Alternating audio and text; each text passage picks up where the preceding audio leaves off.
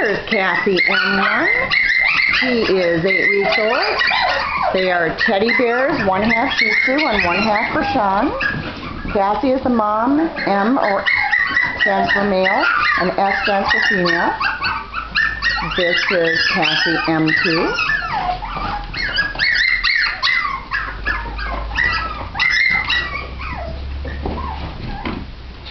And they will be ready to go home next weekend. And here is Kassie M3.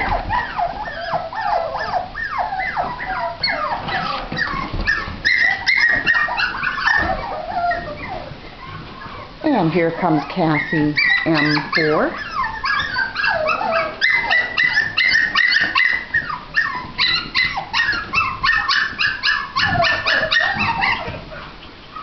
And last will be Kassie M5.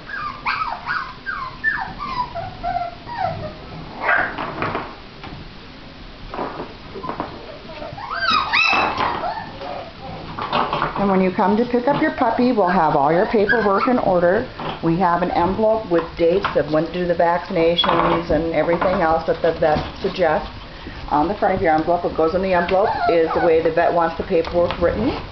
And we also have the Minnesota Health Guarantee, and that's also on the website.